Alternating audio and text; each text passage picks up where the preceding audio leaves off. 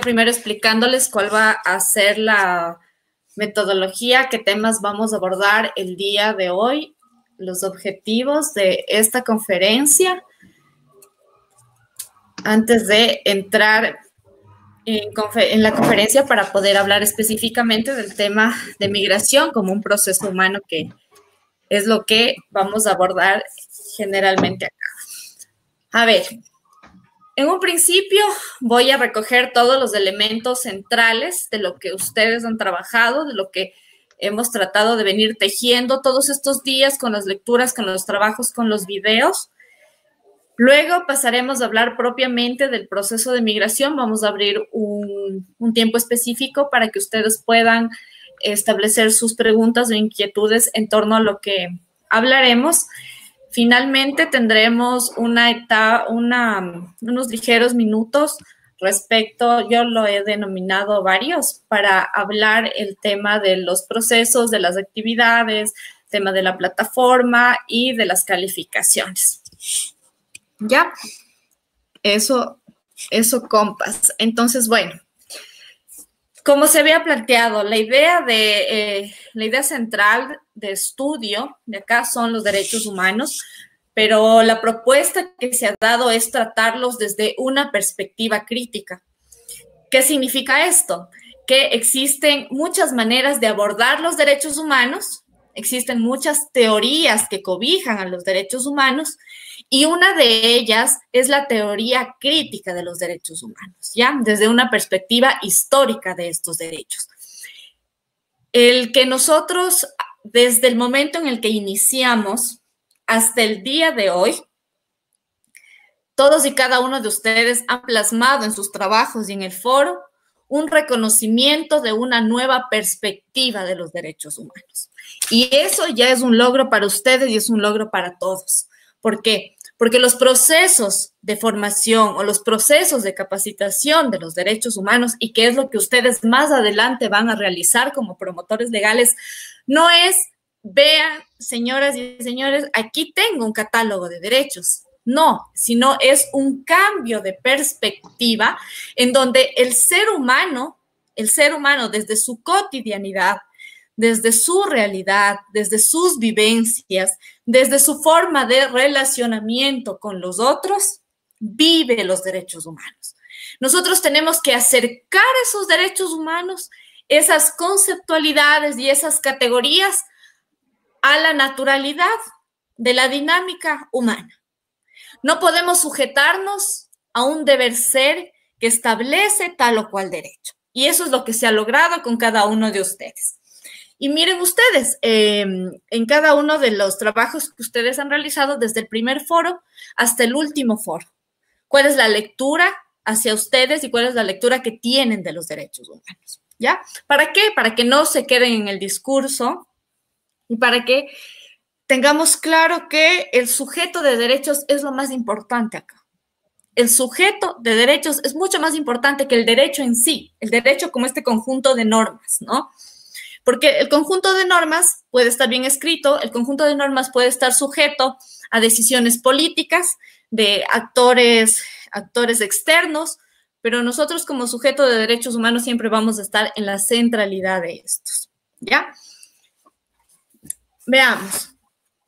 Tengo aquí anotadas algunas ideas que he podido recabar de todo el trabajo que hemos venido haciendo y que sobre todo ustedes lo han hecho en los, en los trabajos, en, en las tareas ya tenemos todos claros y hemos abordado y hemos desarrollado, que eso es lo más importante, la integralidad. Sabemos que existen las necesidades, las capacidades y las aspiraciones y las tenemos claras y las relacionamos con un derecho o con varios derechos y con el ejercicio en sí de los derechos humanos. Sabemos que requerimos de condiciones materiales e inmateriales, entonces ya no es suficiente eh, que tengamos algo tangible para decir que nosotros ya hemos ejercido un derecho, sino que ahora desde esta noción de la integralidad de los derechos humanos, ya todos tenemos la idea clara de que esto tiene que ser más completo. Nosotros en este estudio hemos ido más allá. Y eso ustedes tienen que estar muy claros, que en el momento en el que ustedes trabajen como promotores legales, deben, deben eh, considerar que no únicamente eh, desde la dignidad, desde la igualdad, no únicamente a nosotros nos conviene hablar del ejercicio de un derecho como un tema de accesibilidad a un bien, de accesibilidad a un derecho, sino que yo requiero de estas condiciones que rodeen a mi derecho humano para yo hablar de un verdadero ejercicio de derechos humanos, ¿ya? Existe, por ejemplo, en comunidad, en las comunidades, en algunas comunidades indígenas, lo que suelen hacer es ir y armar, por ejemplo, una, una, cancha, una cancha de fútbol, ¿ya? Y eso a nivel intangible, en el tema de la, de la cultura y en el tema del relacionamiento, es súper importante. Ya es súper importante que tengamos un, un espacio que nos una como comunidad, que nos una en la localidad. Sin embargo, si regresamos a ver, tenemos una comunidad abandonada, sin agua potable, sin alcantarillado, sin una escuela, sin una docente permanente y así. Entonces, no podemos hablar de que se ejercen los derechos humanos solo y únicamente porque se atiende al lado intangible, que en este caso es alimentar este relacionamiento cultural de quienes son parte de esta comunidad. ¿Ya? Como tampoco podemos hablar de una integralidad de derechos si en un espacio está un hospital en donde sus trabajadores no están capacitados, no están bien remunerados y por ende no tienen una noción de derechos en el trato que tienen para con nosotros. Y así, analizando cada derecho, como, como alguien decía, tenemos que aprender a cuestionar todo lo que nos ponen enfrente. Y esa es la tarea como promotores, de inyectar en la gente, de inyectar en los otros actores y ampliar la visión del ejercicio de derechos. ¿Ya? Seguimos. Se han topado eh, algunos temas también en, en, los trabajos alrededor de este tiempo y es el tema de los privilegios. Hemos constatado, una vez que nosotros hacemos este diagnóstico de mis condiciones personales, hemos constatado que existen privilegios. Pero ¿qué es un privilegio? Es que los derechos se ejercen en desigualdad. Es decir, desde estos diagnósticos de ver cuáles son mis condiciones, cuáles, de qué manera en mi barrio se están viviendo o se están satisfaciendo las necesidades, cómo están desarrollando sus capacidades, cómo están cumpliendo las aspiraciones. Desde estas primeras lecturas que yo he hecho sobre mi vida, sobre mi barrio, sobre mi espacio, yo ya me doy cuenta que la desigualdad es una forma real que, que existe, que está presente, no, no solo únicamente en mi vida, sino ya es parte de la gestión pública. La gestión pública atiende ciertos sectores, otros no los atiende. La gestión pública o el Estado está presente en algunos actores de algunas maneras y en otras y en otros espacios es totalmente ausente. Los lugares privilegiados significa que gozan de mejores condiciones para ejercer los derechos. Un lugar privilegiado significa que se atiende a las condiciones materiales e inmateriales. Nosotros debemos estar claros en estas lecturas para poder identificar en dónde están los privilegios, porque este sector del sur tiene tales características porque este sector del norte tiene tales características. Entonces, el privilegio es una demostración clara de una desigualdad, de una gestión pública desigual, de un ejercicio de derechos desigual. Nosotros no anhelamos estar en un lugar privilegiado. Obviamente que quisiéramos la comodidad de algunas cosas, pero no, la, reflexión es que nosotros no anhelamos estar en un lugar privilegiado, no anhelamos ese lugar privilegiado. Lo que anhelamos es que mi espacio y en mi espacio existan condiciones materiales e inmateriales, que en mi espacio yo pueda desarrollar mis capacidades, satisfacer mis necesidades. Y es en donde se permita el cumplimiento y la concreción de mis aspiraciones.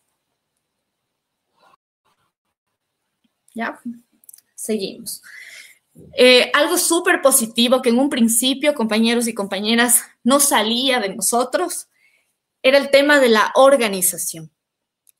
Habíamos hablado en un principio que el sujeto de derechos, en individual o en colectivo, es titular de estos, de estos derechos humanos.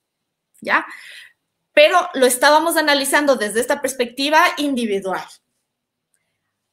Ahora ustedes reconozcan que han logrado plasmar una nueva visión, una visión colectiva de los derechos. Entonces, este sujeto ya no se reconoce solo como individual, también se reconoce como parte de. Y este parte de no únicamente es con mis pares migrantes, con mis pares eh, venezolanos o colombianos o los que fueren, no. Este colectivo, este individual también se reconoce como parte de este nuevo lugar de arraigo, de este nuevo espacio que ahora es mío. Porque, como ejemplo, yo como otavaleña, si me traslado a Quito, yo no pretendo relacionarme solamente con otavaleños para el ejercicio de mis derechos. Yo anhelo relacionarme con todos como una más, como un sujeto de derechos más, y que me traten dentro de ese sentido. Y poder ejercer derechos en torno a las condiciones que tienen estos iguales y que yo merezco, ¿por qué? Por la única razón, porque soy un sujeto de derechos y porque los derechos me pertenecen. Y como muy bien alguien lo decía, y porque yo merezco, porque yo, desde mi dignidad, yo no tengo que rogar o pedir de favor que se me cumplan los derechos, sino que yo los tengo y necesito de estas condiciones y el único responsable es el Estado. Sí, pero como grupo humano también atender la corresponsabilidad que ya, abordaremos más adelante. ¿Qué es lo importante de la organización? Lo importante de la organización es que yo tengo mayores posibilidades de incidir en algún ámbito en donde yo de donde yo requiera obtener algún beneficio en torno a mis derechos. Si existe mayor organización, mayores serán mis niveles de incidencia. Existe un ruido por acá, no sé si es que está estorbando un poco. ¿Me confirman, por favor? Para ver si pueden bajar sus, micrófonos, ¿no? Apagar sus micrófonos, por favor, mientras la vela habla. Después, cuando hablemos, activamos. Sí, no, no, sino que el ruido venía de acá afuera, justo creo que se les ocurrió construir algo aquí al lado, no sé, están con, un taladro. Sí se escucha, pero. Sí, sí te escuchamos, dale. El taladro también un poco. bueno, están trabajando. Ya. Entonces, entonces eso, entonces eh, aterricemos a la evolución. Entonces, en un principio nosotros teníamos una lectura muy propia y regresarnos a ver hacia nosotros mismos respecto a cuál es mi ejercicio de derechos, a ver, tengo, no tengo condiciones, qué pasa con mi vida. ¿Ya? Y esta mirada interna, esta introspección de poder evaluarme, me sirve para tener parámetros claros de cuál sería el ejercicio de otros, de otros actores, cuál sería el ejercicio, las condiciones de mi barrio, de mi espacio. Y como ustedes ven, vamos sumando lecturas. ¿Cómo me he leído en torno a cómo yo ejerzo mis derechos? Y lo siguiente es mirar a mi territorio, mirar a mi espacio. Pueden existir coincidencias desde lo que yo estoy viviendo, con lo que están viviendo algunos, algunos compañeros, algunos vecinos, puede existir coincidencias. Esas coincidencias, la fortaleza de, identificar estas coincidencias es que tenemos, así como tenemos eh, objetivos comunes, tenemos problemáticas comunes. Y de igual manera, desde lo colectivo, podríamos incidir en buscar propuestas, ver alternativas, estrategias en colectivo. ¿Ya? Pero también hay que considerar que van a existir muchas condiciones que no sean las mismas.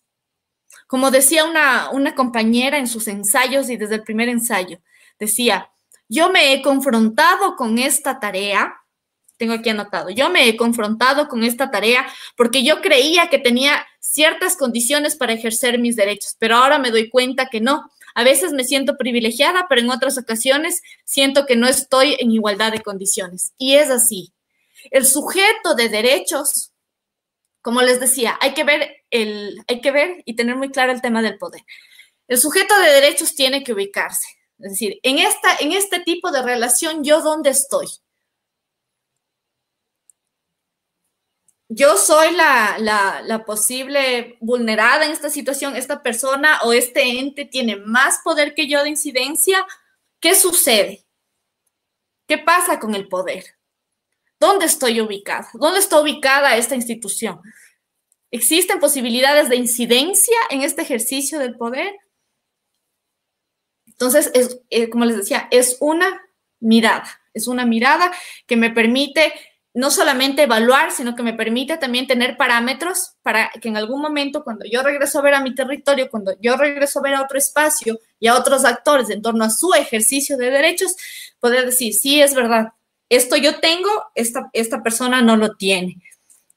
Y si es que ya hablamos como, como futuros promotores eh, legales, eso es súper importante porque ustedes van a, van a trabajar con gente diversa, que tiene muchas condiciones sociales diferentes, unos lo ejercen, unos no, no, lo ejercen, y ahí está su capacidad de lectura de estas condiciones de las personas con las que ustedes van a trabajar.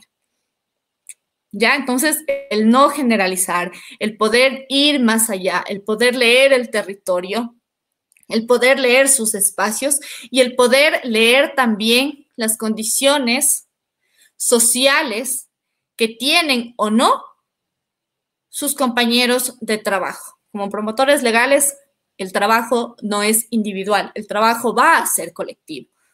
Y son habilidades que van a ir desarrollando y por mi parte yo estoy muy contenta porque ustedes ahora ya tienen otra perspectiva de los derechos humanos.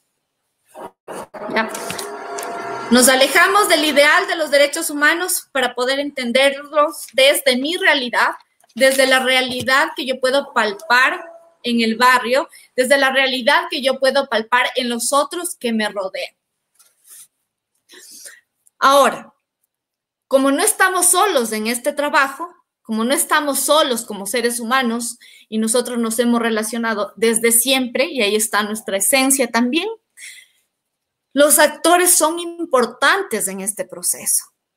Si yo identifico que existen condiciones que no se han desarrollado y si es que estas pueden o no ser comunes, lo importante de esto es que existen varios actores que si es en el momento en el que yo puedo plantear mi estrategia o mi plan, existen varios actores que pueden o no incidir desde sus competencias o desde su rol en las actividades que yo pretenda realizar, en los cambios que yo pretenda generar, en las acciones que yo pretenda emprender.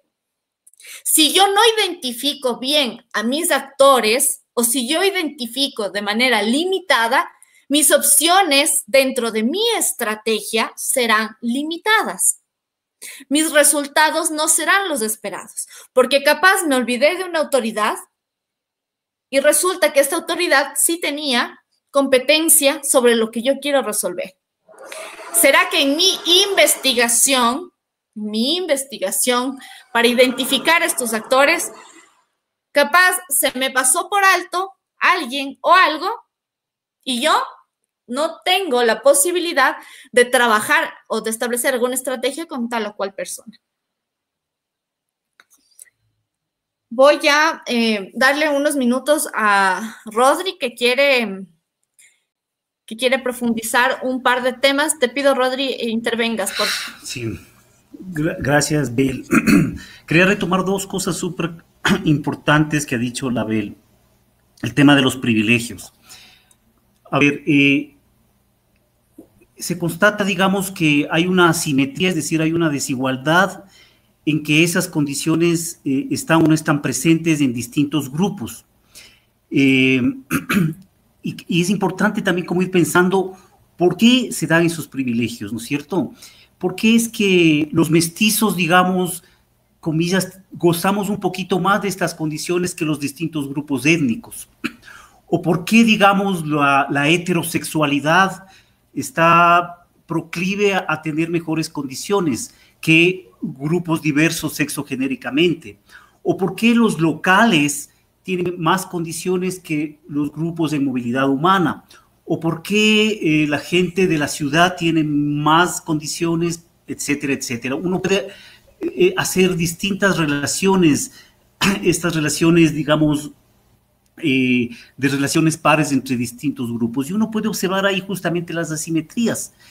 Y es que nuestras, nuestras sociedades han construido todo, creo que es importante eh, eh, comprender que esta asimetría no es natural, es una construcción social y cultural, porque digamos, y, Belia va, va a, profundizar luego ya cuando se habla de la migración, solo me un poquito, es, es porque nos, sustentamos de unas las diferencias se jerarquizan, es decir, unos se ponen por encima de otros, por lo tanto gozan de, de, esas condiciones de mejor manera, digamos. Adultos, niños, ¿quiénes gozan de mejores condiciones? Los adultos. Los niños están para otras cosas, están para obedecer, etcétera, etcétera, están para medio sujetarse a los proyectos de vida del adulto. Y uno puede siempre estar viendo eso, porque la sociedad ha construido unos ideales de ser. Y si sales de esos ideales de ser, entonces quedas excluido de, gozar mejor de esas condiciones sociales. Entonces creo que, que, reconocer esas asimetrías es súper importante para los promotores porque la idea es poder trabajar, trastocar esas asimetrías. La ley puede trastocar, pero no es suficiente, ya Velo ha venido insistiendo, es, es un deber ser, es un referente, es un apoyo. Pero esas asimetrías están en la vida, en la vida cotidiana y es ahí donde nosotros tenemos que laburar. Ya varios han dicho, yo leo sus trabajos y varios han dicho, chuta, es una, es una tarea titánica, pero vamos para adelante, digamos. Pero esa es la tarea de los promotores.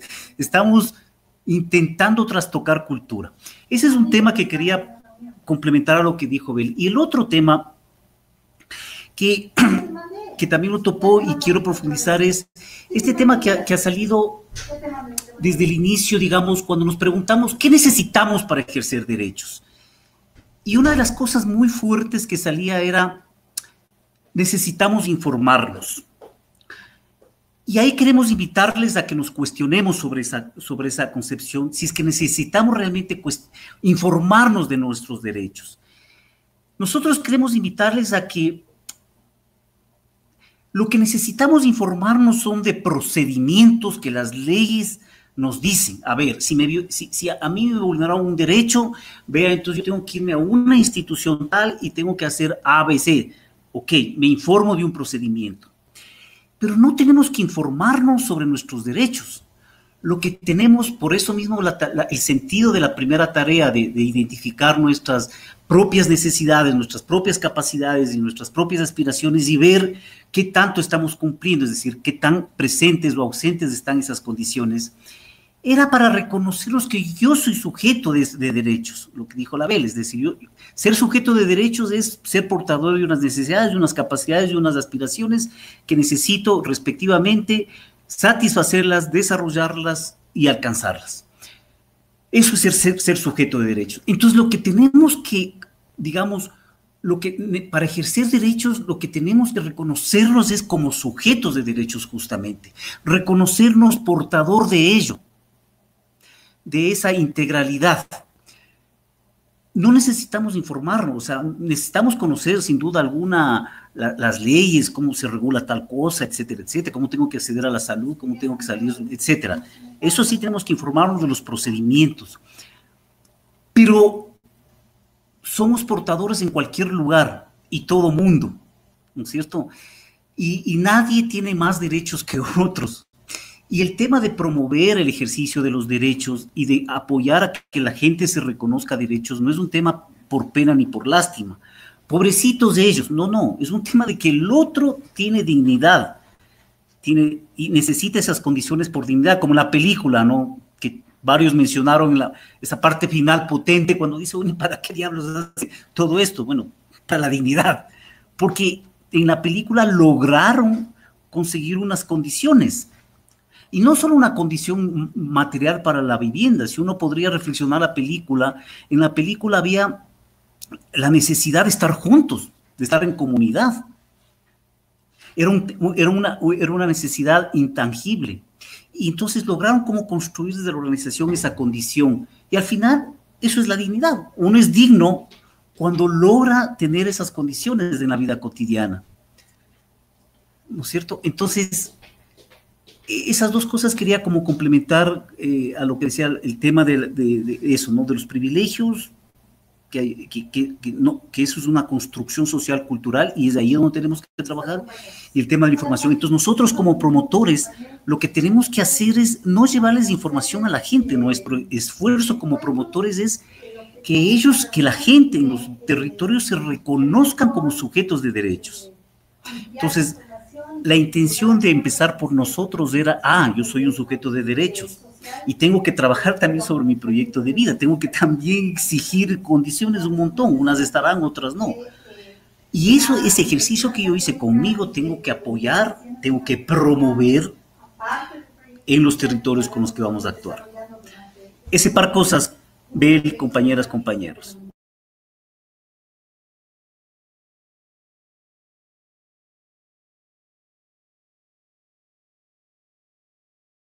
Bel.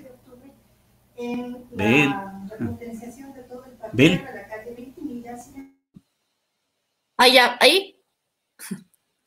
Ahí, ¿me escucha? Sí, sí, sí, dale ahí, Bel. Retoma entonces ya. el tema. Perdón. Era para que no se escuche el taladro, pero ya me, me silencié.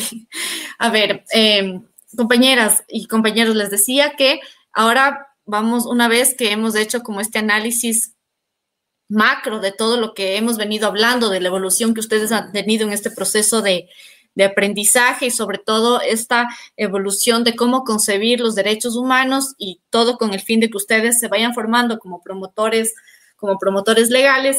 Eh, una vez concluido esto, vamos a abordar el tema la migración como elemento humano. El objetivo de esto es que tengamos una noción de qué es esto de la movilidad humana, cómo se relaciona, cómo lo entendemos desde la concepción, desde, desde los derechos humanos, desde nuestras vivencias y sobre todo eh, aterrizar a la discriminación, aterrizar a comprender cómo es esto de la discriminación, como bien lo decía Rodri, no es algo natural, no es algo natural, es una, es una construcción. Y empezamos. Bueno, la movilidad humana eh, se refiere a los procesos concretos que cualquier persona, familia o grupo humano realiza o experimenta, sea para establecerse de manera temporal o permanentemente en un sitio diferente a aquel donde ha nacido o ha residido hasta ese momento. Esto no es nuevo, la historia de la humanidad se basa en procesos de movilidad humana Históricamente, les puedo compartir, eh, aquí en Ecuador han existido un sinnúmero de oleadas de migración de ecuatorianos hacia Europa y se han suscitado en su mayoría por una búsqueda valiente de nuevas formas de convivencia. Entonces, yo me observo, veo que no tengo condiciones materiales para continuar en mi país, es mi derecho de buscar otro espacio en donde yo pueda recuperar el contenido esencial para ejercer mis derechos, ya para cumplir con mis necesidades, para desarrollar mis capacidades y para concretar mis aspiraciones. ¿Ya? Lo que debemos tener claro en el proceso de, de movilidad es que no solamente es algo voluntario, ¿ya? El proceso de movilización no solo es voluntaria, también es forzada. Casi toda decisión de iniciar un proceso de movilidad humana se origina en una compleja y particular combinación de hechos voluntarios y de hechos forzados. Algunos procesos compañeros, algunos procesos de movilidad humana tienen mayores componentes de libre decisión y, en consecuencia, pueden denominarse procesos voluntarios de movilidad humana. Entonces, yo, yo me quiero ir, no, no tengo una presión externa, que si yo pudiese decidir, yo me quedo acá, pero no tengo unas condiciones que me empujen o que me lleguen a forzar en tomar esta decisión de movilizarme de mi espacio. ¿Ya? Entonces, simplemente yo no estoy presionada para tomar esta decisión, sino que voluntariamente yo quiero movilizarme y, por ejemplo, ir a otro lugar específicamente para estudiar, específicamente eh, para trabajar en algo puntual. Entonces, no tengo un elemento que, que me, genere esta, esta, esta presión, que me genere este negativo, ya como obligarme a, a moverme de este mi que hasta el momento ha sido mi espacio en donde yo tenía proyecciones de desarrollar un proyecto de vida junto a mi familia, junto a lo conocido y demás. Las razones para emprender este tipo de procesos son diversas, ¿no? Como les decía, puede ser estudio, puede ser simplemente porque yo quiero y punto.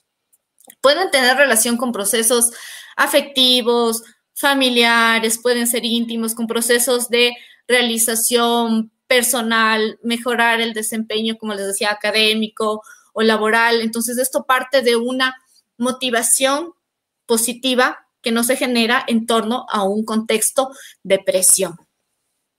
Sin embargo, tenemos lo otro, ¿no?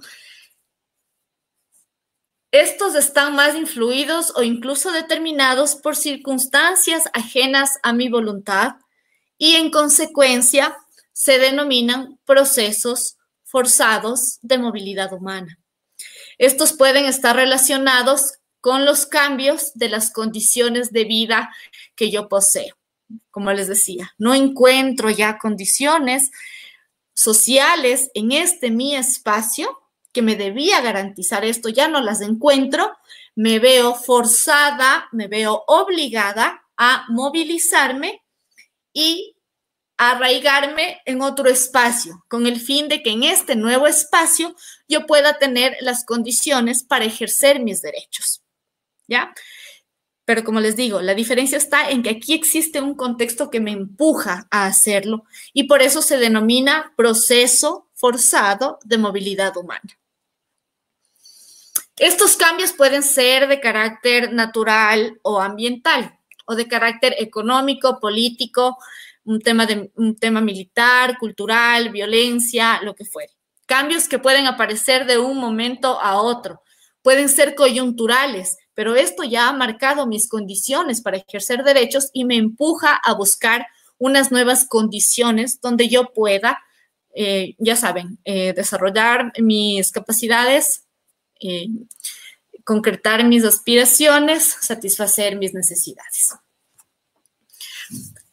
Entonces, estos cambios que aparecen de un momento a otro pueden ser agudos o pueden ser coyunturales. O también se van instaurando, y esto es importante, se van instaurando progresivamente a lo largo del tiempo. Entonces, ya son cambios ya no agudos o coyunturales, sino que ya son crónicos o estructurales. Entonces, ya vemos que mi espacio inicial, originario, de arraigo viene de manera estructural debilitando mis condiciones para ejercer derechos. En todos los casos, sea en los procesos voluntarios o en los procesos forzados de movilidad humana, aunque las personas, familias o grupos no deseen migrar, se sienten forzadas a hacerlo para mejorar sus condiciones de vida. Por ejemplo, en, toda la, en, en todas estas dimensiones, si parten de mi voluntad o si parten de esta presión externa, no existe, no existe ninguna diferencia en torno a que este nuevo espacio de arraigo debilite mis condiciones por haberme movilizado. Puede ser voluntaria, como puede ser forzada, que aunque son diferentes mis puntos de partida, En el momento de un nuevo arraigo, las condiciones para el ejercicio de mis derechos tienen que ser garantizadas. No es que tú, porque eres no, porque tú vienes de un proceso voluntario de movilización, tienes mayores derechos que tú que vienes de un proceso forzado. Es más, si hablamos de una eh, protección y garantía de derechos, ¿quiénes creen ustedes, ya que hemos hablado de, de prestar atención el tema de la vulnerabilidad, quién requiere reforzar sus derechos? ¿Quiénes creen ustedes que deberían tener una protección reforzada? Obviamente, quien no contaba con que sus condiciones se agudicen. Entonces, esta persona no contaba con, no, como no era voluntario, no contaba con esta perspectiva, ¿ya? De tener que salir de su lugar originario. ¿Ya? Entonces, como no contaba, como se sujetó a un proceso de presión, entonces esta persona obviamente requiere que se refuercen sus derechos. Lo que no está en discusión y no estará en discusión es que el estado de donde se encuentre el nuevo arraigo está en la obligación de generar condiciones para el ejercicio de derechos de manera igualitaria y con protecciones reforzadas para los diferentes casos. Vamos, la mayoría de las veces, este segundo tipo de procesos forzados está relacionada con la explotación económica, psicológica y sociocultural. Es una contradicción al deber ser del cumplimiento de las obligaciones estatales. Muchas personas son obligadas a experimentar procesos de servilismo, procesos que en su conjunto denotan vulneraciones de derechos ya estructurales. Porque esa es la realidad de los procesos humanos. No se reconoce a la movilidad humana como un proceso natural, sea voluntario o sea forzado. No se lo reconoce como un proceso de movilidad. Ustedes van a tener en la, en en la, siguiente, en la siguiente tarea van a tener que analizar eh, desde fuera cómo se ve al migrante. Y existe mucha, mucha carga sobre cómo se le ve al migrante. Y en eso tiene que ver muchísimo los medios de prensa, la postura política de los estados. ¿Ya? Eh, ideas que asumo que ustedes han escuchado, que supuestamente los y las migrantes vienen a, en este caso, a Ecuador y restan las opciones laborales cuando las opciones laborales incluso están negadas para nosotros como ecuatorianos. Entonces, son discursos políticos discriminatorios con una carga discriminatoria que lo único que hacen es reforzar y seguir negando que la movilidad humana es un proceso humano y como tal tiene que ser garantizado y protegido. Esto no es alentarles, esto no es una charla motivadora, esto es un deber ser y desde los derechos humanos lo es. Y no hay discusión. Lo que sí hay que discutir, lo que sí hay que cuestionar son estas actitudes de discriminación que se plantean desde las políticas de gobierno. Y son, las, son estas ideas de discriminación que están arraigadas en el tejido cultural. Y es hacia allá donde tenemos que eh, trabajar, hacia allá donde tenemos que ir y atacar. ¿Ya? En el buen sentido. Pero hablemos del sentido. Como les decía en un principio, eh, la movilidad humana está relacionado con la historia humana. No es de extrañar esta íntima relación entre movilidad e historia humana ya que parece estar arraigada en necesidades fundamentales de la especie. Es obvio. Si yo no encuentro condiciones que me permitan ejercer mis derechos, yo busco opciones, porque es, esa es la posibilidad que yo tengo como especie. ¿Ya? Es, eh, de acuerdo con el enfoque de, de derecho, esto es súper importante, existe un enfoque de desarrollo a escala humana las necesidades eh, fundamentales, todo lo que nosotros hemos estudiado hasta el día de, hasta el día de hoy, es una necesidad de ser, de hacer, de estar y de tener. Como es natural y le pertenece a mi especie, si yo no encuentro las condiciones en este espacio, yo tengo el derecho, la posibilidad de buscar otro arraigo en otro espacio. Si yo hasta el día de hoy en, mi, espacio em, tenía planteado un proyecto de vida, si yo me traslado, mi proyecto de vida obviamente que va a tener ciertos cambios. Obviamente, pero eso no significa que mi proyecto de vida se acabó y que lo dejé en Venezuela o que lo dejé en Otavalo o que lo dejé en el lugar de donde salí. Eso significa que mi proyecto de vida se modifica y se modifica para bien. Y se modifica para bien porque este cambio también lleva cambios, pero no en el ejercicio de derechos, sino en la forma como yo ejerzo los derechos. Entonces, mi proyecto de vida no se paraliza y no se queda en el lugar inicial. La única forma que puede existir, que, nos, bueno, que nosotros podemos eh, percibir que mi proyecto de vida se puede ver frustrado, y eso es un sentir porque somos seres humanos, es el tema de la discriminación. ¿Ya? ¿Por qué? Porque la discriminación es algo nuevo para mí. La discriminación no la tenía antes en mi lugar de arraigo, en mi lugar originario yo la tenía, yo la, yo la empiezo a vivir en este nuevo lugar. Y aquí es importante mencionar a, Bobbio. Nosotros hemos escogido esta lectura para ustedes, que en los próximos días ustedes ya la, la revisarán. Norberto Bobbio es, em, Norberto Bobbio siempre ha sido utilizado por abogados, por sociólogos. Es una lectura utilizada en algunos grupos interdisciplinarios, porque él es muy claro y él aborda la igualdad y aborda la discriminación. Y él, para graficar este proceso, nos habla de las fases, de las fases que, se, que recorre la discriminación. Como lo decía el Rodri, la discriminación no es algo natural.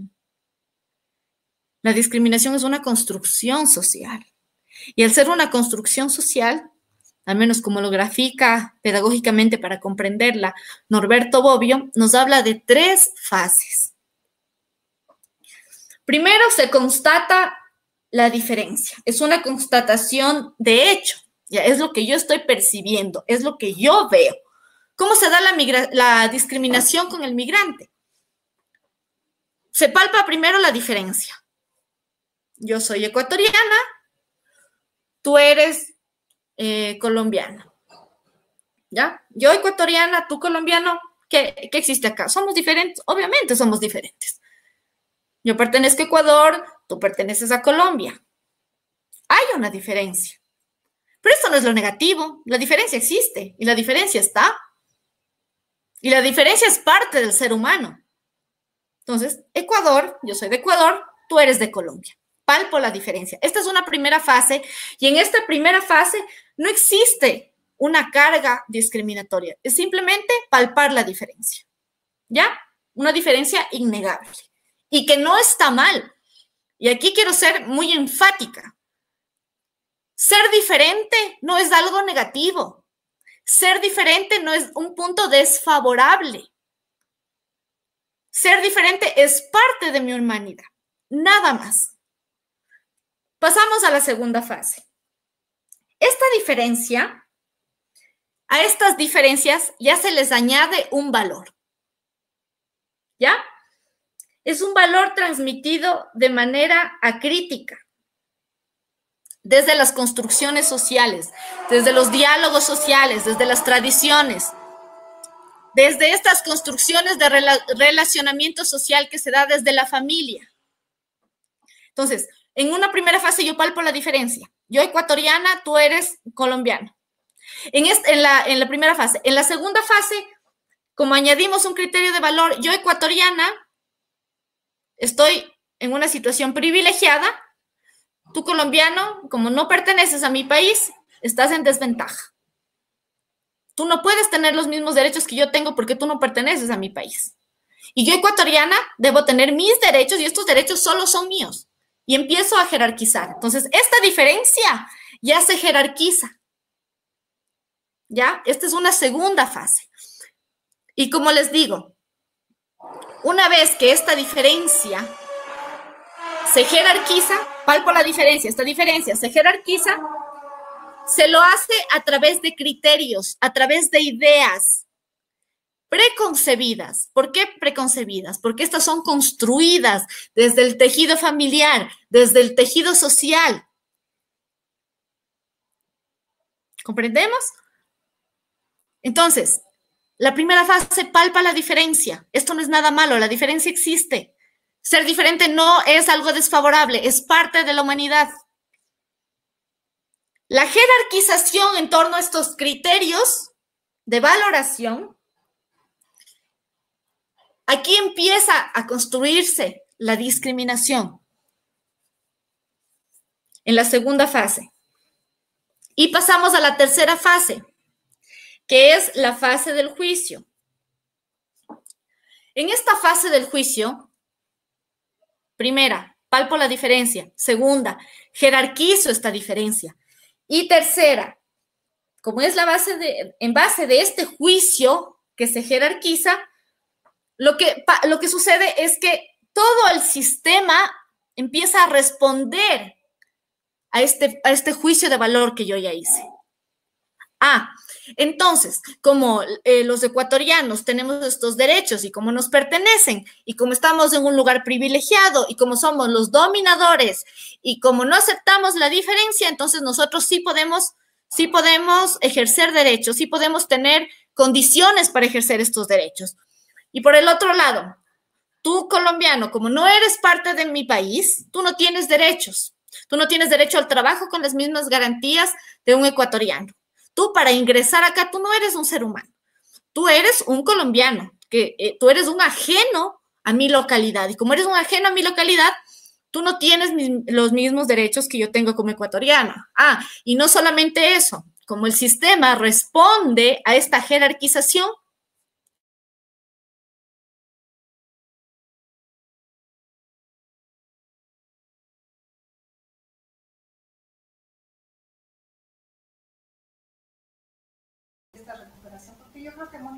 Se fue Bel. Eh, eh, ¿Están compañeras, compañeros, compañeros? ¿Están? Sí, sí, se congeló la imagen. Eh, ¿Se me escucha? Sí, sí. Sí, dale, Bel. Dale, dale, retoma. ¿Desde qué momento, perdón, me quedé congelada para retomar? Nada, nada. Ahorita nomás, dale nomás. Ay, ya, ya. Chévere. Entonces, como les decía, entonces en esta tercera fase, lo que sucede es que ya todo el sistema responde y empieza a actuar conforme esta jerarquización de la diferencia. ¿Ya? Entonces tenemos políticas públicas que responden a esa jerarquización. Tenemos normas jurídicas que responden a esta jerarquización. Tenemos instituciones, tenemos funcionarios públicos, ¿ya? Y también tenemos el tejido social, que ya responde y se maneja y dinamiza todo su actuar en torno a la jerarquización. Y ahí tenemos ya todo un sistema de discriminación. Entonces, como, como tenemos tres fases, ¿en cuál, pensemos, en cuál creen ustedes o desde cuál creen ustedes que deberíamos trabajar para deconstruir estas preconcepciones de jerarquización de la diferencia. Estamos en una primera fase en donde nosotros visualizamos. Y en los procesos de movilidad humana esto sucede. En los procesos de movilidad humana yo me doy cuenta, como ecuatoriana, que llega un diferente. Y a mí como ecuatoriana nunca me enseñaron ni en la escuela, ni mis padres, ni mis amigos, ni en mi comunidad, que los diferentes no tienen por qué ser jerarquizados. Al contrario, lo que yo he visto en la televisión, lo que yo he visto en medios de comunicación, lo que yo veo de mis autoridades, lo que yo veo de mis padres, de mis vecinos, lo que yo veo de la gente que me rodea en mi universidad, es que la diferencia se jerarquiza y que todo un sistema responde a esta jerarquización. ¿Ya? Eso a nivel de migrantes. Ahora, la jerarquización se da, como en algún momento lo, dijo el Ro, la jerarquización se da también en relaciones de privilegiados y otros. El tema de, la o el adulto en relación con un niño. ¿Existe diferencia? Por supuesto que existe diferencia. Existe una condición etaria innegable. Mayor edad, menor edad, hay una diferencia, pero aquí, aquí, en esta diferencia de una primera fase, yo no jerarquizo, solo estoy evidenciando una diferencia. En la segunda fase, como yo ya tengo, eh, yo añado un criterio de jerarquización, como yo añado este criterio de jerarquización, entonces yo digo, los niños no están todavía formados, ellos no pueden opinar porque no saben, son pobrecitos, ellos no, no tienen este nivel de desarrollo como nosotros los adultos. Entonces, tú obedeces y yo mando, yo adulto mando. Entonces, no solo palpo la diferencia, sino que ya tengo un proceso de jerarquización de esta diferencia. Ya son criterios que yo otorgo a esta diferencia. Y yo desde mi concepción de adulta le niego la posibilidad a este niño de agencia, de autonomía. Y empiezo a guiar absolutamente todo. No se come así, no se dice así, no se piensa así, no se sienta así, no, eso está mal. No te abraces con tu compañerito. No, no, no, los niños no lloran. No, no compartas. Ah, tienes un compañerito eh, venezolano, tendrás cuidado con tus cosas. Y empiezo, empiezo empiezo a construir. Empiezo a construir. De este, ¿desde dónde? Desde este espacio familiar. Entonces jerarquizo. ¿Y qué tenemos en el sistema? Mecanismos de participación en donde se tome en serio la voz de los niños y niñas. No existe. Los derechos de las niñas y de los niños solo están en el discurso. Por eso, compañeras y compañeros, iniciamos este proceso de formación diciendo que conocer derechos e informarme de los derechos no es lo más importante.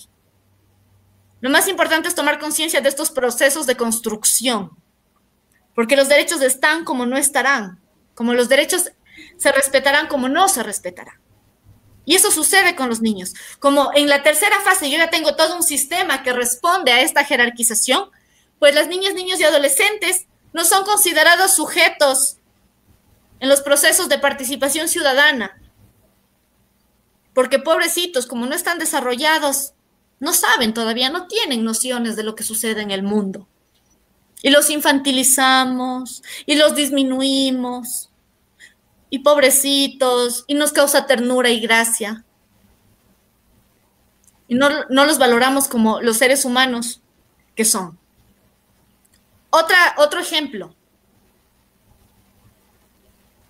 todo lo que sea, todo lo heteronormado, todo lo que se nos ha dicho dentro de este binario, hombre, eh, hombre, mujer, lo que se salga de este binario es diferente, ¿no? Entonces tenemos aquí lo hetero. Tenemos acá lo, lo hetero y tenemos acá lo, lo diverso, lo LGBTI. Entonces, palpamos la diferencia. Fase 1, palpamos la diferencia. Tú eres hetero, hombre, te gustan las mujeres, cumples con el binario establecido por la sociedad, listo. Tú eres lesbiana, te gustan las mujeres, eh, eres diferente, palpamos la diferencia, ¿ya? Lo hetero, lo homosexual. Segunda fase, añado un criterio de valoración a esta existencia. Lo hetero está bien, lo homosexual y lo diverso está mal. Lo hetero es lo natural y lo homosexual y lo, y lo diverso, ¿qué sería? lo enfermo, lo antinatural, lo extraño, ¿no es cierto? Añado. Y si yo ya de plano digo que esto es lo natural y lo correcto, y si digo que, esta existencia homosexual es lo incorrecto, lo innatural, lo enfermo, jerarquizo. Y la jerarquización no es tan simple. La jerarquización conlleva un sentido de dominación y vamos estableciendo a privilegiados en el ejercicio de derechos y vamos estableciendo a víctimas en estos procesos, víctimas de discriminación. Y o oh, coincidencia, compañeras y compañeros, prestemos atención. En esta jerarquización, los que están arriba tienen mejores condiciones para ejercer derechos. Y los que están abajo, los que fueron jerarquizados y los que están abajo, los dominados, los oprimidos, no tienen posibilidades. Es por eso, compañeras y compañeros, que existen más beneficios, mejores condiciones de ejercicio de derechos humanos para quienes estamos en el país y para quienes hemos nacido en el país a comparación de quienes vienen de manera voluntaria o de manera forzada. Porque existe una construcción del prejuicio, una construcción que no es natural, que forma parte de un proceso, una construcción que se deriva del tejido social, de este primer acercamiento relacional, que es mi familia, que es mi espacio, y que se expresa en políticas públicas, en normas, en decisiones gubernamentales, en dinámicas violentas de la sociedad. Eso es lo que sucede. Porque la diferencia, palpar la diferencia y que exista la diferencia es parte de la humanidad. Eso sí, es lo natural. Lo que no es natural es esa construcción es por eso que cuando hablamos de derechos humanos y cuando ustedes lean, cuando ustedes escuchen a activistas, académicos o quien fuere, ellos siempre resaltan de construcción propia y de construcción social. Porque todos venimos con cargas, compañeros y compañeras, de lo que me dijo mi mamá, de lo que en algún momento me dijo mi papá, mi hermano, de lo que me dijeron en la escuela, de lo que yo veo, de lo que yo consumo en la televisión. Hay cosas que inconscientemente se nos han quedado y nos van construyendo alrededor de la vida. Y eso hay que identificar. Y como promotores legales tenemos ese ejercicio de trabajo con quienes nos corresponda en el espacio. La discriminación no es algo natural, la discriminación es una construcción social. Y al, ser construcción social, ¿existe o no existe la posibilidad de construirlo? Por supuesto, es una tarea titánica, pero se puede hacer. Se, por supuesto que se puede hacer. ¿Ya? Perfecto. Eh, otro ejemplo para finalizar y ver que, esté, que esté claro esto, quizás eh, ustedes pueden realizarlo capaz, puede ser entre hombres y mujeres, entre lo mestizo o lo blanco, que, no, que en realidad no existe, pero bueno, entre lo mestizo y lo indígena. Entonces es palpar esta realidad, una inmediata jerarquización y luego evidenciar que existe un sistema que responde ya a esta jerarquización. Entonces, no es un, no es un, mecánico de, ah, sí, eh, tú eres mejor eh, y tú eres peor. O sea, nada, no, eso no se queda solo aquí, no que existe todo un sistema que establece políticas, normas, gestiones, eh, dinámicas sociales que responden a esta jerarquización. ¿Ya?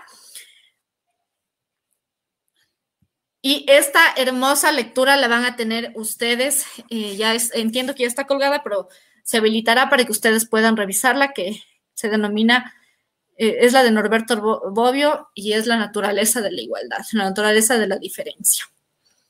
Veamos aquí.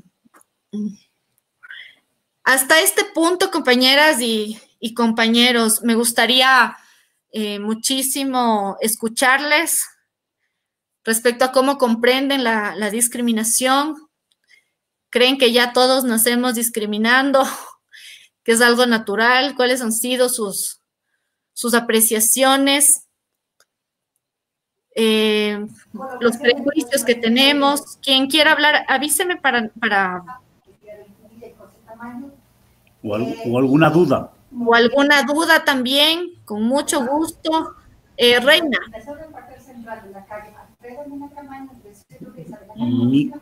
Bueno, Claro que la discriminación existe en todos los ámbitos. Este, yo salgo de mi país con, de manera forzada con proyectos que, que creía que podría desarrollar en este país, este, poder continuar o ejercer la, mi, mi profesión para la cual me he dedicado y aquí me encuentro con una discriminación, pues, de que no puedo homologar mi título porque aquí los nacionales hay muchos abogados y yo le quitaría la oportunidad a ellos de trabajo. Y lamentablemente la Universidad del Ecuador tiene cuatro años que no homologa título. Mi título ya tiene, va a cumplir un año en la Universidad Católica para darme la oportunidad de forzarme y tener el dinero para pagar las materias que, que vayan a homologar para equiparar, para que me puedan dar mi, mis credenciales pero está la discriminación. Soy venezolana y no me han dado respuesta hasta la presente fecha. Entonces, tuve que, cambiar, cambiar mis condiciones, las cuales traía de mi país, y tuve que, construir este, mi vida en otro sentido. Aquí no puedo ejercer y, tuve que cambiar mi, forma eh, eh, de sustento acá. Perfecto. Eh, gracias, gracias, gracias Reina. Como tú dices, eh, el obstáculo el obstáculo para poder desarrollar, retomar o, modificar positivamente mi proyecto de vida se da justamente por este proceso de discriminación. En tu caso se refleja ya eh, dentro de estas tres fases que decíamos, se refleja eh, esta respuesta institucional. Si existiera un enfoque de derechos, si existiera una noción de que la diferencia no tiene por qué eh, entorpecer el desarrollo de tus derechos como migrante, eh, lo que hubiese sucedido es que independientemente del número de abogados y de abogadas que existamos en el país, es tu oportunidad de desarrollo personal en torno a este derecho también como derecho humano, de poder ejercer como abogada aquí en este espacio. Y como como, como vemos, eh, la discriminación se palpa también en la política. A ver, tenemos la, eh, el pedido de palabra en este orden. La compañera Mica, la el compañero Sergio. A ver, permítame. Sí, de hecho, el eh, proyecto social y este... Permítame un segundo. Sí, Mica, luego, por favor, Sergio, luego Mari Peralta. Mica, porfa, te escuchamos. Sí, gracias, Anabel. Y bueno, antes que todo agradecerte por, por tu explicación, da mucho para reflexionar, creo, ¿no? Eh, yo no sé, estaba tomando apuntes y eh, tengo también unas reflexiones. A ver, la primera tiene que ver con el tema del, prejuicio y creo que eh, también la sociedad nos ha, nos ha empujado a pensar que el prejuicio solo tiene una acepción negativa. En realidad el prejuicio también puede ser positivo. Entonces, cuando estamos en esa segunda fase, eh, a donde tenemos de alguna forma empezar a deconstruir lo que, lo que eh, nos han dado como sociedad, como cultura, yo creo que sigue, seguimos eh, repitiendo el tema del prejuicio, solo que lo que tenemos que cambiar no es tanto el peso en el tema del prejuicio, tanto en el tema de la excepción, negativa o positiva. Entonces hay que cambiar y darle la vuelta y, y como, como si fuera una cajita y quitar todo lo que está dentro de la cajita que tiene acepción negativa y volver a, ponerle la acepción positiva. Pero no, no es que sea, según mi forma de ver, eh, malo el prejuicio, porque vivir sin prejuicio no lo veo, o sea, no lo veo tampoco natural. Vivimos y no podemos vivir sin prejuicio.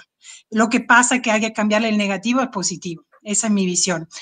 La otra, la otra eh, reflexión que tenía es que lo que siento, o sea, llevo años trabajando con migrantes y lo que siento es que la discriminación es mucho más grande cuanto menos es desarrollado el, sentimiento de la empatía. Y la empatía se basa no solo sobre el tema de decir, ok, soy empático porque eh, porque me, da pena o me da compasión, sino que yo por primera vez pasé por lo que pasó el migrante, el indígena o cualquier tipo de grupo minoritario. Entonces, cuando uno ya eh, tiene ese sentimiento desarrollado con la empatía que se desarrolla gracias a la experiencia, eh, uno entiende mejor, entiende mejor porque ya ha pasado por esas, por esas situaciones.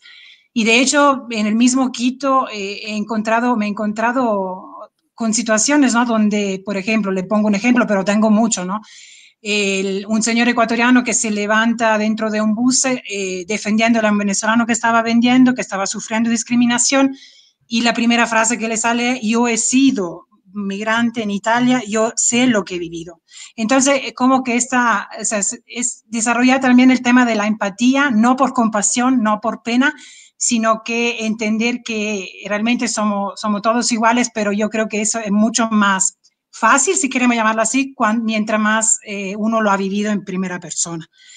Eso básicamente, Anabel, mis observaciones.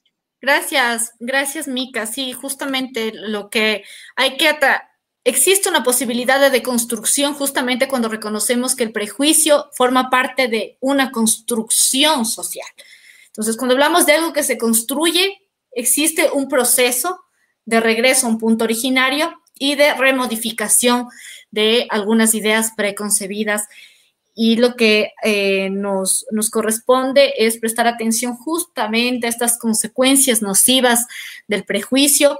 La empatía es muy relevante, eh, Mica, nosotros, y si queremos aterrizar a los derechos humanos, recordemos cuando hablábamos de esto de la solidaridad y de este sentido fraterno, de esta dimensión ética de los derechos humanos, que es este compromiso que a mí nadie me califica por ser eh, buena compañera, buena vecina, eh, o, o, buen ser humano, buena latinoamericana, o lo que fuere. No, nadie me califica, pero es un compromiso propio adquirido según mis construcciones. ¿Ya? Pero esta empatía capaz, como decía la Mica, capaz porque yo siento empatía porque yo en algún punto también como mujer me he sentido dominada o oprimida o discriminada.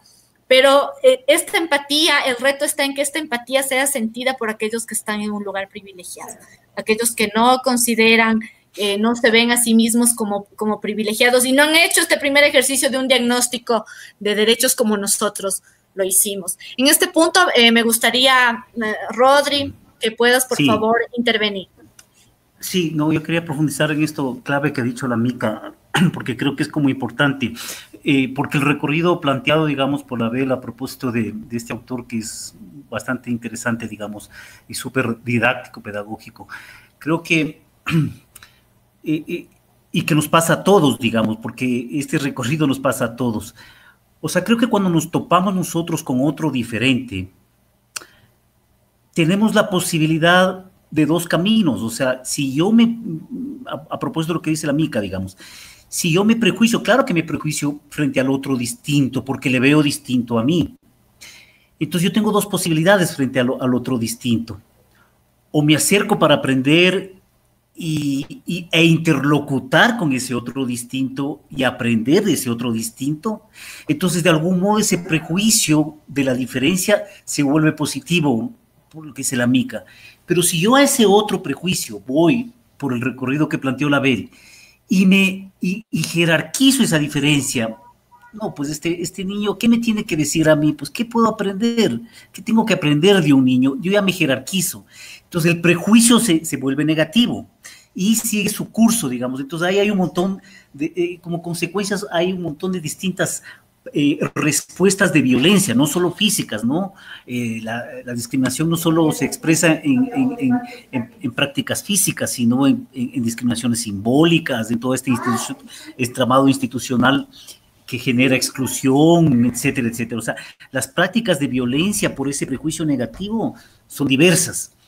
Entonces creo que es como importante atender, a todos nos pasa eso, frente a, un, a una persona trans, por ejemplo, claro, el otro es distinto. Además que, eh, sobre todo estas diferencias que nos causan mayor, mayor movida de piso, o sea, nos confrontan más, porque salen un poquito de nuestros de nuestras concepciones, comillas, de la normalidad en las que nos no, hemos formado. Entonces uno puede, tiene chance de decir, a ver, frente a ese otro diverso, ¿qué hago? ¿Me acerco, interlocuto, respeto esa diferencia o me voy por el otro camino? Entonces, el tema es, obviamente, apostarle al, encuentro entre la, entre la diversidad. Eh, pero lo que queremos también es plantear que esto, esto de la discriminación está en los territorios donde vamos a trabajar. Y es importante que lo, que lo, que lo pongamos, porque no podemos ir ni con discursos moralistas, ni con discursos, o sea, no somos consejeros, ya, ya veremos eso en la siguiente unidad, eh, sobre todo el rol de un promotor. Nosotros como, como promotores no somos consejeros, no somos eh, eh, políticos electorales, o sea, no vamos a decir cosas a la gente, sino que tenemos que partir de esa realidad. Esos prejuicios están ahí y tenemos que ayudar a que la gente interlocute desde sus prejuicios, desde sus, diferencias. Entonces, claro, yo concuerdo con lo que decía la, la, amiga, depende de qué hacemos con ese prejuicio. Avancemos, y creo que estaba Sergio y luego... Mm, Mari Peralta. Mari Peralta. Sergio. Buenos días, bendiciones para todos. Bueno, en cuanto a el tema, es realmente interesante. Basta hablar del ser humano como titular de derechos. Este es algo realmente maravilloso, maravilloso. Desde el año 1948, cuando se habla de la Declaración de, de los Derechos Universales, los 30 eh, derechos que tenemos y todo esto. Y también eh, lo, lo, que decía nuestro amigo Rodri, es en la parte de, cuando yo voy a, ejercer mis derechos. El Estado es el garante y por ende debe colocar las condiciones para yo ejercer mis derechos. De ahí está la diferencia entre derecho fundamental y el derecho humano. Fundamental porque está escrito a través de ese conjunto de normas, ¿no? Y el otro punto es la parte de la discriminación la discriminación. Ratifico en cada una de las palabras que manifestó por allí nuestra compañera Reina para hacer un poquito más de resumen. Reina dio en el clavo en cuanto a nosotros como abogados que nos ponen tantos obstáculos, que si falta esto, que si falta aquello. A mí me hicieron una prueba como, como abogado, eh, analicé la constitución, me dice una muchacha abogada, perfecto, vale, pero tú tienes que pagar esto, tienes que hacer esto. Viendo lo que es la parte de, de, la, del prejuicio. en la mayor parte del prejuicio, como dice una compañera por allí, que también se actúa de un punto de vista positivo, pero generalmente el prejuicio es negativo. Siempre se busca a esa construcción de lo que es la discriminación, porque ellos dicen que quizás, eh, como hay tantos abogados, este me va a quitar a mí eh, mi trabajo, me va a quitar a mi cliente, Ah, eh, y deberían saber, yo siempre lo manifesté, que yo soy una mano amiga para eh, actuar en cuanto al estudio de, un expediente, y de hecho lo he hecho, ¿verdad? Y he demostrado, pues, creo que para tratar de, de desvincular esa discriminación, nosotros, que aquellas personas que tienen ese, ese prejuicio, tenemos que tener una actitud, primero, divina y otra humana. Esa actitud tiene que ser positiva, esa actitud tiene que ser de autoestima y esa actitud, cuando digo divina, es manifestarse que todos somos iguales. Seremos diferentes en cuanto a que yo soy venezolano y aquel es ecuatoriano y están dominando las normativas. Pero una vez que yo comienzo a estudiar y analizar las normas, las normas de acá de, de, de Ecuador, yo ahí equiparo y desde el punto de vista de actitud comienzo a actuar en beneficio de un colectivo y sería ya una mano amiga de todos nuestros colegas. Eso es todo. Estamos en contacto. Gracias, gracias Sergio. Sí, eh, es súper importante la actitud y esto ya es un tema ya de, de, capacidad como promotores y promotoras legales. Siempre es tema de la facilidad de palabra, tener muy claras las ideas, tener una muy buena actitud sin negarnos sin negarnos eh, ese reconocimiento de ser humano. El ser humano también se quiebra, el ser humano también tiene momentos de debilidad y cuando ustedes generen trabajo con, con mucha gente, con algunos actores, en algún punto también entender que no todos los días, no todos los días todos estamos obligados a, a sonreír y, estar felices y no pasa nada, mientras yo tengo a mis hijos que tienen hambre. Mientras acabo de, ser insultada por alguien en la calle que me gritó, eh, tú, tabaleña, ¿qué haces aquí? Serrana, lo que sea. O sea, hay que también eh, equilibrar. El, ser humano requiere ser muy positivo, requiere ser muy propositivo, como promotores legales esta capacidad de liderazgo, de, incidencia, pero siempre desde un, desde un, tono em, muy horizontal. Recordemos que, como decía el Rodri, a nosotros no vamos a, a enseñar algo, por eso hablamos de un proceso de mediación pedagógica. Si yo creo como Anabel Santa Cruz, que sé muchísimo de derechos humanos y que ustedes no conocen de derechos humanos, ¿qué estoy haciendo? Jerarquizando. ¿Y contra qué estamos? Estamos contra la jerarquización en todo tipo de relación. Estamos compartiendo lo que ustedes saben, sus experiencias, y yo también estoy compartiendo lo que, lo que yo he leído, lo que yo he estudiado y también desde mi experiencia que me movilicé desde Otavalo eh, hacia Quito y desde esa noción y de haber palpado algunas cosas también puedo hablar y entender que en algún punto yo también fui jerarquizado. Entonces, es así, es buscar puntos de encuentro y como promotores legales, reconocer que dentro de esta humanidad yo puedo estar muy feliz, muy positiva, pero también tengo derecho a sentirme debilitada. Ya en, algún momento, pero no, no, nada de, ser las, las, víctimas de la novela. Nunca en la vida. Por eso está el, empoderamiento que han dicho ustedes también en sus trabajos. Mari Peralta, te escuchamos. Hola, buenos días. Eh, rescatando un poco todas las opiniones y tomando en cuenta la lectura de Norberto Bobbio, dice que la fuerza del prejuicio corresponde a las ideas eh, o creencias falsas o negativas que tiene la persona que corresponden a su deseo, estimulan las pasiones y sirven a sus intereses. Entonces yo he tratado como de desglosar eso y lo llevo a un caso particular. Eh, cuando yo gestioné mi última visa, mi visa permanente aquí en el Ecuador, Em, como venezolana y ya como migrante y ya con la experiencia, porque ya he tenido situaciones de vulneración de derechos, eh, ya iba preparada para todas las respuestas que me dieron. Eh, y pienso que esa es como la idea eh, que de alguna manera tenemos que mm, motivar a la gente en ese sentido. ¿Por qué? Porque desde el primer momento ya ahora no hay citas virtuales, sino hay que ir a hacer una fila y que le den una cita. Desde el primer momento me negaron la cita. Y yo le pregunto al funcionario, ¿por qué me niegas la cita? Es que tiene que venir el primer día del, del mes 21 de su visa temporal. Yo le digo, sí, aquí dice que tengo el laxo desde el mes 21 hasta el mes 24 por estas razones, que no las voy a explicar acá para no hacer largo el tema, no pude venir el primer día del mes 21, pero vine en el mes 22. No es que ya no hay citas. Disculpe, funcionario, usted me puede decir su nombre y su apellido. En el momento en que yo encaro al funcionario preguntándole nombre y apellido, el funcionario baja esa cerca, baja esa pared y cambia de tono. Me dice, hable con el supervisor. Le explico al supervisor y el supervisor muy amablemente le dice, hágame el favor y hágale un espacio y le da una cita. Perfecto. Primera pared, primer muro que tumbé. Si yo me voy o si yo soy una migrante que soy ignorante de los procedimientos, ignorante de las leyes, me voy y me quedo sin bis y me quedo irregular en el Ecuador. Llega el día de la cita. El día de la cita, no sé por qué pasó que la cita, después de la una de la tarde, supuestamente se cayó el sistema.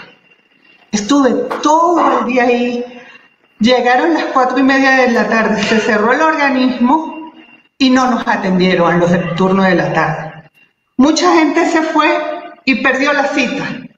Yo le dije, hágame el favor, señor fulano de tal, y me escribe de su puño y letra el por qué no me atendieron el día de hoy.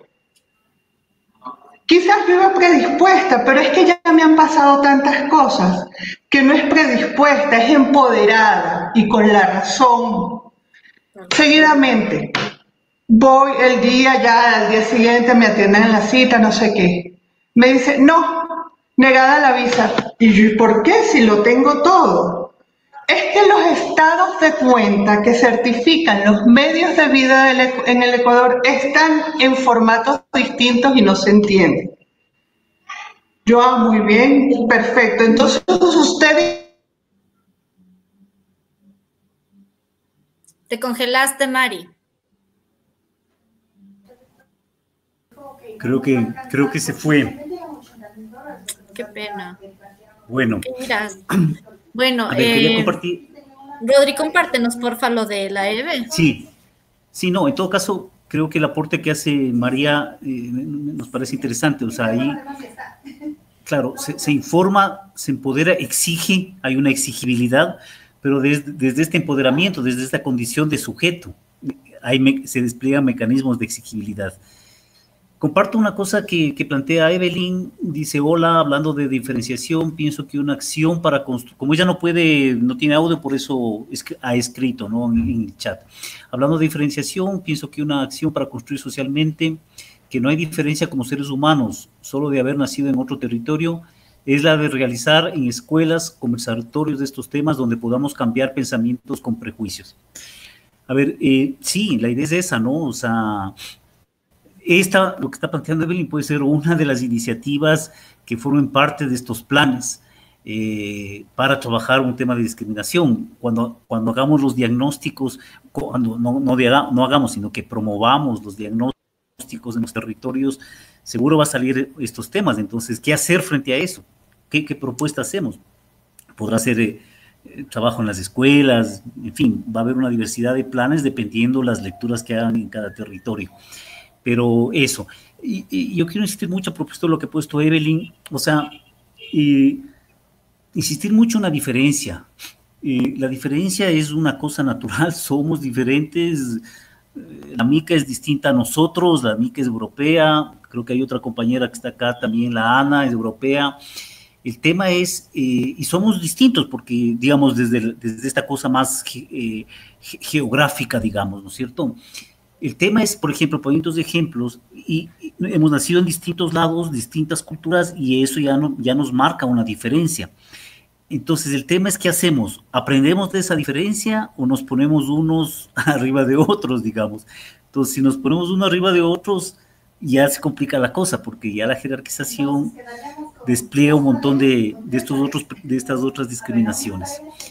Concuerdo mucho con Mika, dice, nosotros pintamos un mural de integración en Atuntaki para combatir la xenofobia, dice Betsabe Jaramillo, entonces parece que también está sin lío. Entonces parece que eh, sí, esa puede ser como otra de las actividades, es decir, las iniciativas que se puedan generar en los territorios van a depender mucho de las lecturas. Ahora nosotros hicimos este ejercicio de, de lectura de la realidad, una interpretación de nuestros territorios pero ya en la segunda, cuando trabajen con Francisco, por eso yo le invitaba a Francisco a esto para que un poco vea la dinámica. Cuando trabajen con Francisco, eh, va, va, a trabajar en algunas herramientas, algunos roles de ustedes, para que los actores lean ese territorio, lean esas condiciones, primero se empoderen de ser sujetos. Entonces tiene sentido que primero hemos nosotros hecho ese ejercicio de reconocernos sujetos de derechos, es decir, portadores de, ¿no es cierto? NSA, necesidades, capacidades, aspiraciones. Em, entonces, eh, y por lo tanto, entonces, a partir de esos diagnósticos, eh, vamos a promover que la gente dialogue sobre, esos, sobre, sus, sobre sus, lecturas que haga y a partir de eso generar las propuestas o planes que pueden ser mesas de trabajo, como lo han planteado en sus trabajos también, que murales, que que talleres para trabajar en las escuelas, en las familias, es decir, las posibilidades son, son muchas, ¿no es cierto? Eso, ah, María Peralta dice, hola, se quedó congelado otra vez. Sí, sí, María. hola, sí, parece que no tengo buena suerte últimamente. Me apasiono en una, en una opinión y, se me cae la, la conexión, pero, pero bueno, nada. Gracias, gracias, gracias, María. Comentamos tu aporte cuando te fuiste. Creo que no sé si tienen otro por los tiempos eh, para pasar a esta partecita de varios que decía Label. eh, notas y algo, y también quería también plantear una, una, cosa que me han pedido de Misión Escalabriniana que compartirles a ustedes. No sé si hay otra pregunta, si inquietud. Hola, ¿me escuchan? Te escuchamos. Están buenas tardes. Este sí tenía la manito levantada hace ratito para... Ah, perdón, perdón. Tranquilo. Eh, quería decir algo bastante corto y era, eh, bueno, escuchando las opiniones y todo lo que ya Abel nos comentó, eh, creo que también parte un poco de lo que es el sentido crítico, ¿no? Em, me uno mucho con el tema de la empatía, pero también el sentido crítico en el sentido de que eh, generar esta opinión, ¿no? Eh, Aristóteles decía que para ver una verdad había que verlo de varias aristas. Entonces, no caer también nosotros como, claro, hay una jerarquización, ¿no? Pero siento que una jerarquización de un lado, en el sentido de que eh, como personas que se han vulnerado nuestros derechos, podemos caer nosotros en un prejuicio. Y eh, la idea no es esa, en ninguno de los ámbitos. Ser críticos, eh, intentar ser sensitivos en algunas cosas y saber que somos seres humanos pero y tenemos todos los derechos, pero también saber hasta dónde podemos llegar, ¿no? Porque a veces exigiendo nuestros derechos generar otros derechos. No me refiero a ahora, sino en algunas eh, manifestaciones sociales que a veces se ven en algunas partes del mundo.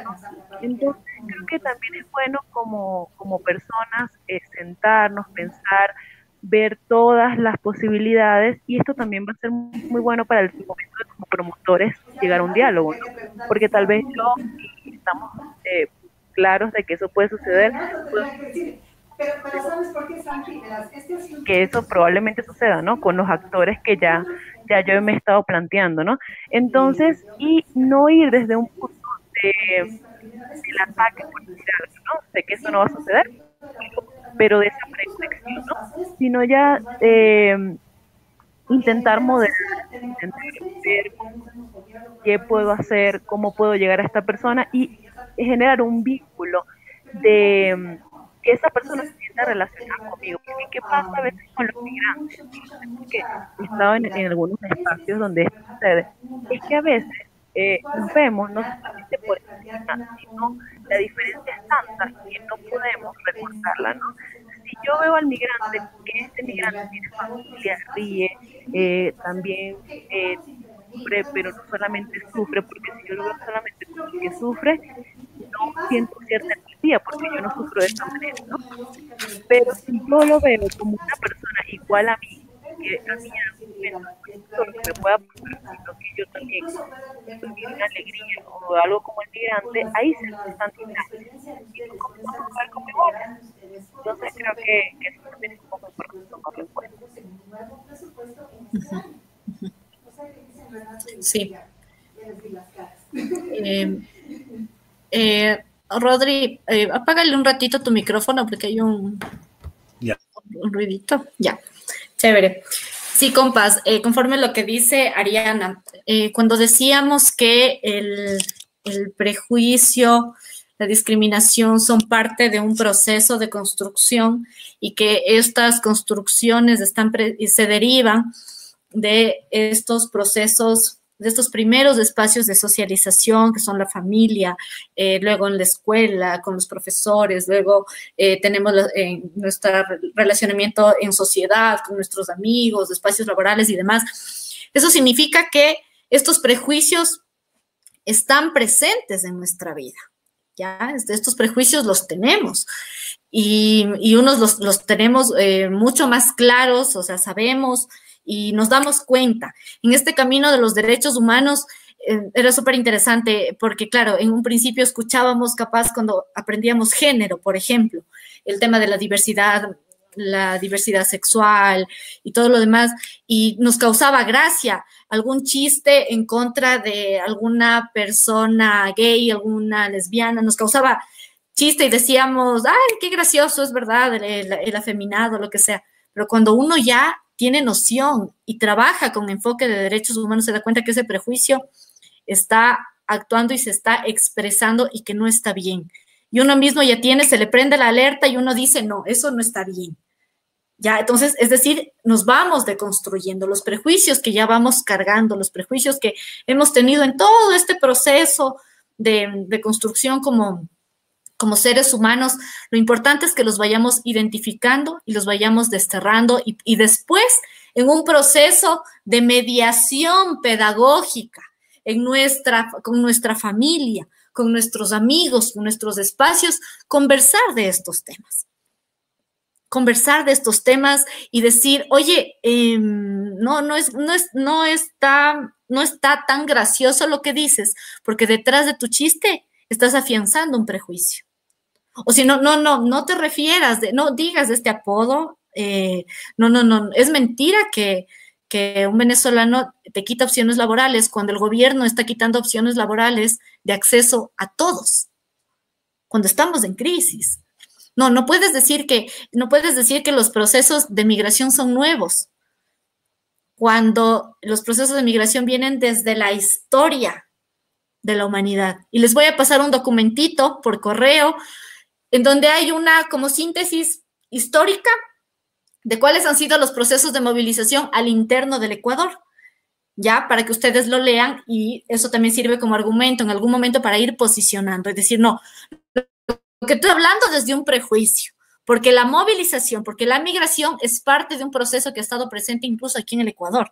Mira, ¿qué pasó con, qué pasó con el tema de los indígenas, la inmigración? ¿Qué pasó en los años 90 cuando se movilizaron por, por una crisis? Cuando ustedes como ecuatorianos no encontraban condiciones acá, se movilizaron a Europa y cosas así. Entonces, ir fortaleciendo estos argumentos para ir también cuestionando este tipo de prejuicios. Los prejuicios los tenemos todos porque nosotros somos resultado de construcciones en nuestros espacios íntimos, desde la familia hasta los espacios eh, educativos y demás conforme nosotros nos hemos desarrollado. La clave está en identificar y, como ya decía alguna compañera, ir, e intervenir en estas fases que gráficamente lo, lo plantea Norberto Bobbio.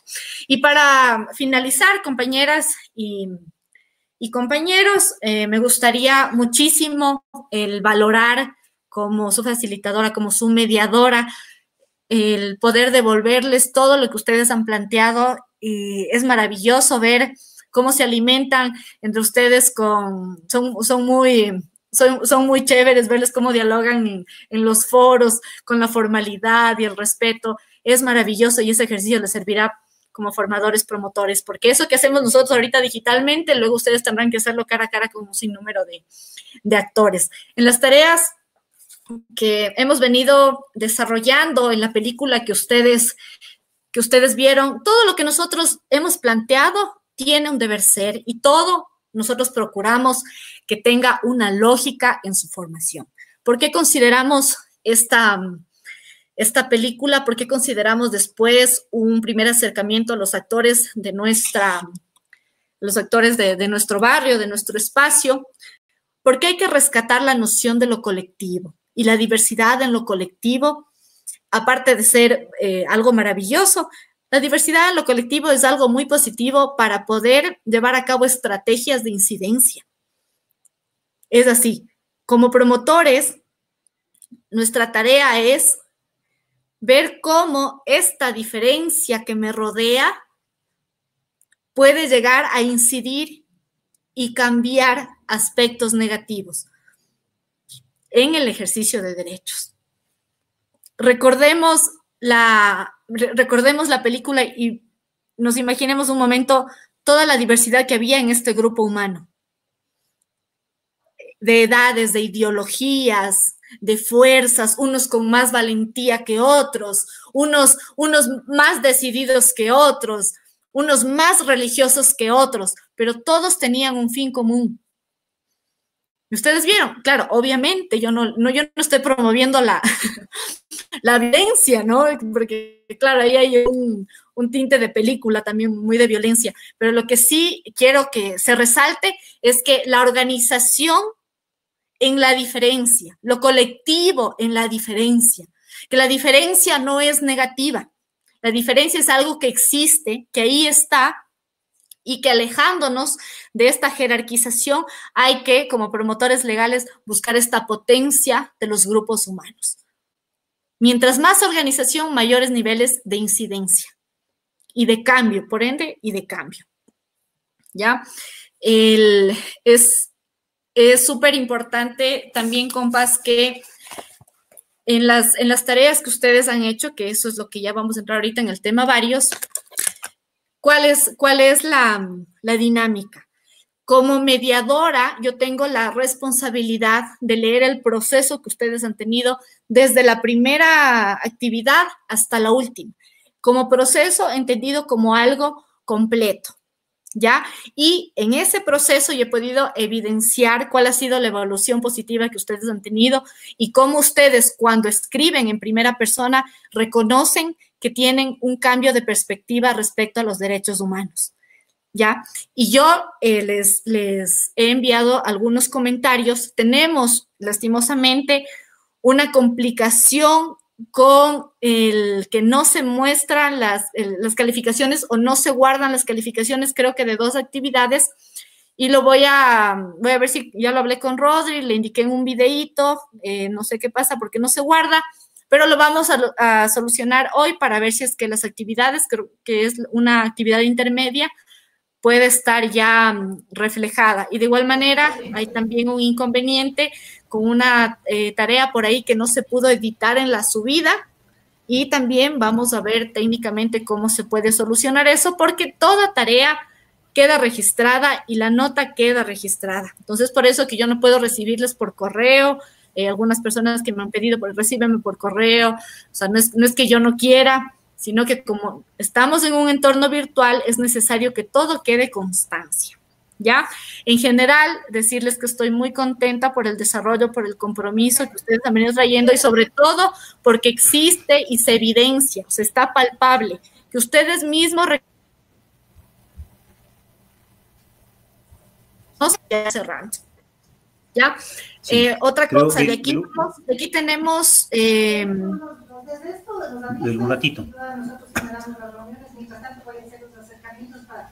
Del a ver, compas, eh, sobre esto que decía la Bel, eh, de las actividades, eso, a propósito de lo que ayer eh, se consultaba en, la, en el chat, ¿no es cierto?, de, que de pronto no les llegó sus, tareas, entonces vamos a resolverlo ahora con Milton para que algún lío técnico ahí, pero absolutamente susceptible de ser resuelto enseguida, ahora mismo para que se, se pueda trabajar la, la, la actualización de sus notas, ¿no?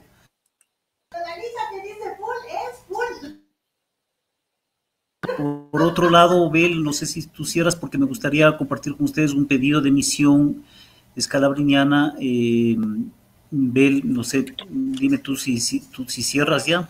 Sí, eh, agradecerles compañeros y compañeras, les voy a enviar esta lectura, como les decía, de elementos históricos de cuáles han sido los procesos de migración al interno del país para que ustedes tengan estas nociones y sirvan como argumentos para reubicar ciertas eh, preconcepciones que, tenemos como ecuatorianos. Les aseguro que hay información que, que muchos ecuatorianos y ecuatorianas no tienen la menor idea y también en ese proceso de ser promotores y mediadores de conocimientos, pues ustedes también puedan eh, ver la mejor forma. Muchísimas gracias por su atención, por su compromiso, por su, por su buena onda. Estoy a las órdenes. Pueden escribirme por correo, pueden escribirme por la plataforma. Yo procuraré estar al tanto ahí a cada rato para responderles. Y por favor, por favor, todo, cualquier idea que ustedes tengan, cualquier duda, cualquier opinión o lo que sea, compártanla, compártanla en los foros, compártanla entre ustedes y trasladen cualquier idea, cualquier inquietud. Y gracias, en serio, gracias por este compromiso y seguimos, seguimos avanzando. Dale, Rodri. Muchas gracias.